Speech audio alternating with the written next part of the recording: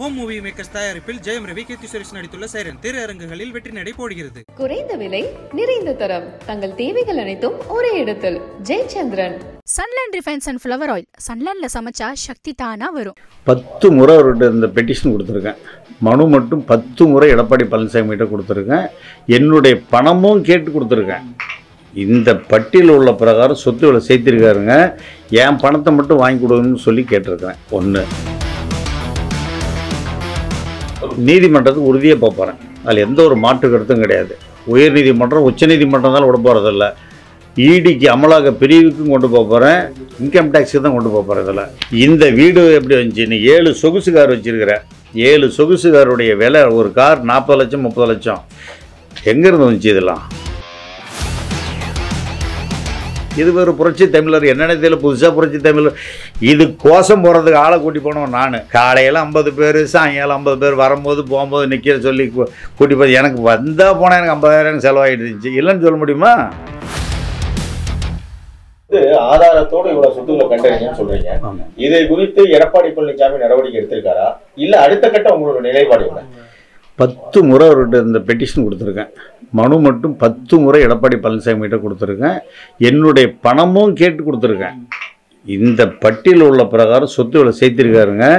என் பணத்தை மட்டும் வாங்கி கொடுங்கன்னு சொல்லி கேட்டிருக்கிறேன். ஒன்று இதுக்கு நடவடிக்கை என் மேலே எடுக்கிறதுக்கு பதில் அவர் மேலே தான் எடுக்கணும். எடப்பாடி பழனிசாமி அவர் மேலே தான் எடுக்கணும். ஆனால் எடுக்காத பட்சத்தில் இப்போ நான் தற்சமயம் நீதிமன்றத்துக்கு போக போகிறேன் நீதிமன்றத்தினுடைய நீதிமன்றத்துக்கு உறுதியாக பார்ப்பறேன் போகிறேன் அதில் எந்த ஒரு மாற்று கருத்தும் கிடையாது. உயர்நீதிமன்றம் உச்சநீதிமன்றம் தான் விட போகிறதில்ல இடிக்கு அமலாக்க பிரிவுக்கும் கொண்டு போக போகிறேன் இன்கம் டேக்ஸுக்கு தான் கொண்டு போக போகிறேன் இதில் காரணம் என்னன்னாக்க இந்த சொத்து நீ உன் பினாமியில் ஆறு ஆறு பேரில் இருக்கிறதுங்கிறது நீயே சொல்ல போகிற உன் வீடு எப்படி வந்தது? உன்னுடைய வருமானம் என்ன? உன்னுடைய பூர்வீக சொத்துங்கிற பட்டியல் போகிறாங்க பாருங்கள் அப்டேட்டில் வச்சுருக்கிறேன் நான். இதில் காட்டியிருக்கேன். இந்த வீடு எப்படி வந்துச்சு? நீ ஏழு சொகுசு கார் ஏழு சொகுசு காருடைய விலை ஒரு கார் நாற்பது லட்சம் முப்பது லட்சம். எங்கேருந்து வந்துச்சு இதெல்லாம்? இதெல்லாம் என்னுடைய கேள்வி அதுதான். இது அமலாக்க பிரிவு கொடுத்தா கேட்கணும்ல? அமலாக்க பிரிவும் கேட்கணும். இன்கம் டேக்ஸ்லையும் கொடுக்க போகிறேன் உச்சநீதிமன்றம் உயர்நீதிமன்றத்தில் கொடுக்குறேன். உறுதியாக கொடுக்குறேன். இது நடவடிக்கை வந்து எடுக்கணும். தலைமையில் வந்து என் மேல் நடவடிக்கை எடுத்து எடப்பாடி பழனிசாமி தப்புங்கிறது தான் என்னுடைய வாதமே. நான் வந்து அதிமுக வாக்களித்தவன் உனக்கு நீ பொதுச் வருன்னு கொடுத்தவன் நான். அவர் இல்லை. நான் தான் ஒன்றிய செயலாளர். அதுக்கு முன்னாடி இபிஎஸ்ஸா ஓபிஎஸ்ஸாக இருந்துச்சு. அவர் வந்து இதாக இருந்தார். அவர் ஒருங்கிணைப்பாளராக இருந்தார். இந்த பிரச்சனைக்கு பற்றியில் நாங்கள் சேலத்தில் எல்லாம் ஒன்றா இருக்குன்னு சொல்லி சொல்லிட்டு இருந்தாங்கன்னு சொல்லி ஒன்றா இருந்தோம். இல்லாட்டா நாங்கள் என்னத்துக்கு இருந்தாலும் பின்னாடி நாங்கள் போகிறோம் ஐ டோன்ட் கேர் அதுக்காக கையெழுத்து போட்டதும் நான் போட்டிருக்கிறேன். நீங்கள் வரணுங்கிறது தான் என்னுடைய நோக்கத்தில் போட்டோம். எங்களுக்கு பணமோ காசோ தரல. டீ கூட எங்கள் வீட்டில் குடிச்சதில்ல அவங்க வீட்டுக்கு உள்ளே போனால் எனக்கு பத்தாயிரம் செலவு. மாதம் நாலு தடவை வருவார். நாலு தடவை போனால் எனக்கு நாற்பதாயிரம் எனக்கு செலவு பண்ணுவேன். ஒரு ரூபா ரெண்டு ரூபா இல்லை. அவங்க கூட்டுற ஆளுலேருந்து கொடுத்துட்டு இருந்தேன். கூட்டுற ஆளுலேருந்து பணம் கொடுத்துட்டு இருந்தேன். பிடிங்குவாங்க கேட்குறதெல்லாம் கிடையாது. ரெண்டை கூடு மூணை கூடு அவன் டிரைவரில் இருந்த எல்லாம் ரொட்டு ருசுக்கு எல்லாம் என்னை பிடுங்கினது பத்து பத்தாயிரம் ரூபா காலில் போனான். பத்தாயிரம் இல்லைன்னா போகவே மாட்டேங்க ஒண்டிக்கணும் நீங்கள் நிலைமை அது. இப்போ இவர் நீங்க நீங்க பாடுபட்டிருக்கீங்களா? தலைமைச் செயற்குழு உறுப்பினர் யாருக்கு? போட்டாதான் எடப்பாடி பழனிசாமி தலைமைச் செயற்குழு பொதுக்குழு உறுப்பினர் ஓட்டு போட்டாதான் ஜெயிக்கணும் அப்படின்ற நிலை அவருடைய அந்த வெற்றிக்கு நீங்க எவ்வளவு பாடுபட்டிருக்கீங்க? நிறைய. என் கூட பத்து இருபது பேர் இருந்தாங்க. எல்லா பொதுக்குழு உறுப்பினர் நாங்கள் ஒன்றா சேர்ந்து தானே போகிறோம் நாங்கள் அடுத்த டிஸ்ட்ரிக்டில் இருக்கிறவங்களாம் கூப்பிட்டு போய் தானே பேசுகிறோம் நாங்கள் வாங்க போகலாம் அப்படின்ட்டு. இந்த நிலைமை நீடிச்சா உறுதியாக சொல்கிறேன் தமிழ்நாட்டில் வந்து எடப்பாடி பழனிசாமி வந்து ஜெயிக்க இவர் வந்து ஒரு அம்மா மாதிரி நடிச்சிட்டு ஒரு புரட்சி தலைவர் மாதிரி நடிச்சிட்டு இருக்காரு. யாரோ ஒருத்தன் பட்டம் கொடுத்தாங்க ஏதோ புரட்சி தமிழர்ன்ட்டு. அது முன்னாடியே வந்து இவர்கிட்ட இருக்குது அது. நம்ம சத்யராஜிட்டு இருக்குது. இது புரட்சி தமிழ் இத்தனை நாள் ஹிந்தியா பேசிகிட்டு இருந்தார். தமிழ் தானே பேசினார். அது ஒரு பட்டம் புதுசாக ஒருத்தன் கொடுத்தாங்க. நீ புரட்சி தமிழர்ன்ட்டு. அவன் கொடுத்தவன் ரொம்ப திறமைச்சாலி அவன். உலகத்திலே அந்த மாதிரி யாராவது கொடுப்பாங்களா? புரட்சி தமிழங்கிற பட்டம் ஃபஸ்ட்லேயே இருந்தாலும் பாவம் அவர் சார் நடிகர் சத்யராஜ் கையில் வச்சுட்டு இருக்காரு. இது ஒரு புரட்சி தமிழர் என்னென்ன தெரியல புதுசாக புரட்சி தமிழர். இது கோஷம் போகிறதுக்கு ஆளை கூட்டி போனவன் நான். காலையில் ஐம்பது பேர் சாயங்காலம் ஐம்பது பேர் வரும்போது போகும்போது நிற்கிற சொல்லி கூ- கூட்டி போய் எனக்கு வந்தால் போனால் எனக்கு ஐம்பதாயிரம் செலவாகிட்டு இருந்துச்சு. இல்லைன்னு சொல்ல முடியுமா? உறுதியா? ஏது இவனுக்கு சொத்து? இந்த சொத்து பூரா வந்து இவருதில் அது தொண்ணூறு சதவீதம் அவர்தான் தான் இருக்கும். எடப்பாடி பழனிசாமி தான் இருக்கும் ஏது இவனுக்கு அவ்வளோ சொத்து? முந்நூறு சதுரடி வச்சதுனுக்கு அவ்வளோ வராது. இந்த ஊரில் சும்மா கட்டி கொடுத்துருப்பான்னு நினைக்கிறேன் அது. இந்த கொண்டு போய் ரைட் கொடுக்குறேன் நான் கொடுக்குறேன் இன்கம் டேக்ஸில் கொடுக்குறேன் அமலாக்க பிரிவில் கொடுக்குறேன் நான். நான் உச்ச நீதிமன்றத்தையும் உயர்நீதிமன்றத்திலையும் வழக்கறிஞர்கிட்ட கேட்டிருக்கேன். ஒரு டேட் கொடுக்குறேன்னு இருக்காங்க. நான் இதை கொண்டு போய் கொடுக்குறேன். உன்னுடைய சொத்து மதிப்பீடு கொடுக்குறேன். அதை நீ கொண்டு வா. நீ கொண்டு வந்த நான் அக்கௌண்ட்டில் கூட. நீ எப்படி சம்பாதிச்சுன்னு காட்டணும்ல பத்து வருஷத்தில் நீ புரோட்டா போட்டுக்கிட்டு முந்நூறுரூவா கூலி உனக்கு. முந்நூறுரூவா கூலியிலிருந்து இவ்வளவு ஆயிரம் கோடி ரூபா சொத்து எப்படி வந்துச்சு நீ காட்டு? உன்னுடைய சொத்தா எடப்பாடியார் சொத்தா இல்லை ரோட்டில் போகிறவனு தான் காட்டு எனக்கு. எனக்கு பப்ளிக் தெரியணும். நீ சாதாரண ஒரு சட்டமன்ற உறுப்பினர். நீ கூவத்தூரில் என்ன கூத்து அடிச்சுங்கிறது எனக்கு தெரியும். நடிகை தானே கேட்டுக்கிட்டு இருந்த? இருந்தாலும் ஆ.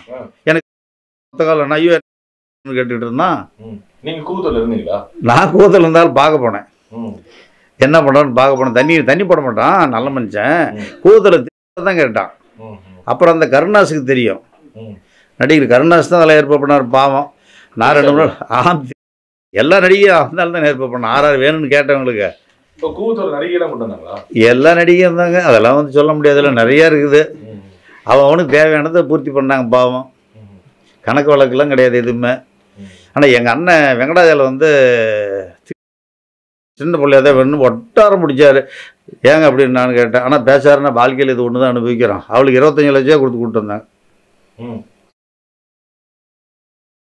நான் தான் போந்து வந்துட்டு நான் எங்களுக்கு என்ன வேலை. அங்கே உள்ளே வைக்கிறாங்க. ஏதோ ரெண்டு சோறு போட்டால் கறி திரும்ப வந்துட்டேன் உங்ககிட்டயோ உங்க சம்பந்தப்பட்டவங்ககிட்ட ஆதாரம் என்ன ஆதாரங்குது கூவத்தூர் ஒரு பொம்பளைகிட்ட போகிறத வந்து நான் பார்த்துட்டே அது இல்ல, இவ்வளவு கும்மி அடிச்சது பண்ணது எல்லாமே. ஏங்க நீங்கள் வந்து உதாரணத்துக்கு சிவி சண்முகத்தையே பார்த்துருப்பீங்களா என்ன டான்ஸ் ஆடினாரு. ஒவ்வொரு இவர் இவர் நம்ம கூட்டுறவுத்துறை மந்திரி செல்லூர் ராஜ் என்ன பண்ணார்? கூட்டுறவுத்துறை மந்திரி செல்லூர் ராஜ் என்ன பண்ணார்? ஒவ்வொரு எம்எல்ஏஸ் என்ன பண்ணாங்கன்னு பார்த்துருப்பீங்களா என்ன ஆட்டம் ஆடினாங்கிறத அது முன்னாடி இருந்து எல்லாம் செஞ்சது யாருன்னு நினைக்கிறீங்க? செஞ்சது எங்கள் அண்ணன் எடப்பாடி பழனிசாமி தான் பணம் கொடுத்துருப்பாரு. வேறு யார் கொடுக்க போகிறாங்க பணம் செலவு பண்ணணும்ல ஆள் வேணும்ல. வெங்கடாஜலம் வந்து அதில் வந்து பவுன் வாங்க சொல்லி கொடுத்தாங்க. மூணு கிலோ மூன்றரை கிலோ அஞ்சு கிலோ கொடுக்க சொல்லியிருந்தாங்க. இதில் வெங்கடாஜலம் பாவம் உங்களுக்கு ஒரு ஒரு எம்எல்ஏக்கு அஞ்சு கிலோன்னு வச்சுக்கிங்க. அதில் ஒரு நாம் தனியாக எடுத்துக்கிட்டார். தனித்தனியாக கொஞ்சம் கொஞ்சம். அது வந்து பார்த்தீங்கன்னா அது ஒரு இருபது கிலோ சேர்த்து போயிடுச்சு. சேலத்தில் கொஞ்சம் வாங்க சொல்லியிருந்தார் எல்லா கடையிலையுமே. அதில் பாவம் கொஞ்சம் சேர்த்து ஒரு இவருக்கு அஞ்சு கிலோன்னா ஒரு பதினஞ்சு இருபது கிலோ சேர்த்து இவர் எடுத்துக்கிட்டார் பாவம். அந்த விஷயத்தில் ஒரு நல்ல ஆள். அதே மாதிரி இந்த தேர்தல் வரட்டுங்க. வர எம்பி தேர்தல் வேணால் பாருங்க நீங்கள் எங்கள் மேற்கு ஒன்றியது டோட்டலாக காலி. ஒன்று அடுத்தது மாநகர் மாவட்டத்தில் நீ கணக்கு வச்சுக்கோங்க. ஒரு லட்சம் வாக்கு வந்து குறையும். யாருக்கு பூனைக்கு மணிக்கு கட்டுறதுன்னு டவுனில் இருக்கிறவன் பூரா தெரிஞ்சுக்கிட்டு இருந்தான். நான் என்னுடைய எல்லாம் மீறி போய் தான் வந்து போட்டேன். இப்போ கூட இருந்தாலும் போட்டோ வச்சு தான் இருக்கிற மானக்கட்டு போய் நான் அங்கே பாருங்க மேலே. அவன் சிரிச்சிட்டு இருக்காம வச்சிருக்கேன் பாருங்க. உலகத்திலே நான் தான் தப்பானால தெரியுறேன். அவன் போட்டோ வச்சிருக்கிறேன் பாருங்க. அதனால் தயவுசெய்து கொஞ்சம் அப்படியே போடுங்க. போட்டியில் நல்லது வேற கட்சியில நீங்க இணையறதுக்கு இல்லை உறுதி நான் அதிமுககாரங்க எடப்பாடி பழனிசாமி போயிட்டாலும் நான் இங்கே தான் இருப்பேன். எடப்பாடி பழனிசாமி நீக்கிறதுக்கு அதிகாரம் நான் சொல்லிட்டு இருக்கிறேன் நீங்கள் கேட்குறீங்க அதிமுகவோட உண்மை தொண்டன். இவர் பொதுச் செயலாளர் ஆகிறதுனால இந்த போட்டோ வச்சுருக்கேன். நான் இந்த பூ பூங்குத்து கொடுத்தேன். இப்போ நானே பொதுச் செயலாளர் இருப்பேன் ஆமாம் எனக்கு ரெண்டாயிரத்தி ஐநூறு பேர் ஆயிரத்தி ஆயிரத்தி ஆயிரத்தி ஐநூற்றி இருபது பேர் ஆயிரத்தி ஐநூறு பேர் போட்டால் நான் பொதுக்குழு உறுப்பினர் இல்லையா? நான் பொதுச் செயலாளர் இவர் பொதுச் செயலாளர் கிடையாது? இப்போ கழகத்தினுடைய பொதுச் செயலாளரை சின்னமாக சொல்லியிருக்காங்க. உண்மை தானே ஒருங்கிணைப்பாளரை ஓ பன்னீர்செல்வம் இருக்காரு இவர் பொதுச் செயலாளர் நானும் போட்டு போட்டிருக்கேன். ஏன் இப்போ நான் பொதுச் செயலாளர் வரக்கூடாது? எனக்கு தகுதி இல்லையா? வசதி வாய்ப்பு இல்லையா? எனக்கு கார் இல்லையா? வசதி வாய்ப்பு இல்லையா? ஆ? அவர் கிளை செயலாளர்னு சொல்கிறாருல்ல நானும் கிளை செயலாளர் ஒன்றிய இவர் ஒன்றிய செயலாளர்ங்கிறது யாருக்கா தெரியுமா? அது சும்மா கதை விட்டுக்கிட்டு இருக்கார். ஒன்றிய எந்த வருஷம் இருந்தார் ரெக்கார்டு காட்ட சொல்லுங்கள் காட்ட முடியுமா அவரால்? பேசுவார் மேடையில். நான் உங்களை கூட கீழே இருந்தவன்பார் இந்த இந்த பொண்ணு போய் பெட்டிஷன் வந்து எனக்கு பாதுகாப்பலன்னு குடிச்ச ஏன் போய் வந்து நடவடிக்கை எடுக்கல? இந்த பொண்ணு போய் பெட்டிஷன் கொடுக்குது. அந்த பொண்ணு பேரில் நடவடிக்கையே எடுக்கலை. நீ கட்சிக்கு ரொம்ப பொதுச் செயலாளராகிற நீ என்ன பண்ணுற நீ? பாவம் அந்த போய் சேர்ந்துருக்குறாங்க. அது என்ன இன்னொரு பொண்ணு டான்ஸர் ஒன்று அதெல்லாம் பாவம். அப்பாவி பிள்ளைங்க பார்த்துருக்கணும். அவ்வளோதான் நான் எதுவும் சொல்ல முடியாது. நன்றி. வணக்கம். ஹோம் மூவி மேக்கர்ஸ் தயாரிப்பில் ஜெயம் ரவி கீர்த்தி சுரேஷ் நடித்துள்ள சைரன். திரையரங்குகளில் வெற்றி நடை போடுகிறது. குறைந்த விலை நிறைந்த தரம். தங்கள் தேவைகள் அனைத்தும் ஒரே இடத்தில். Jayachandran. Sunland refined and flower oil சன்லேண்ட்ல சமைச்சா சக்தி தானா வரும்.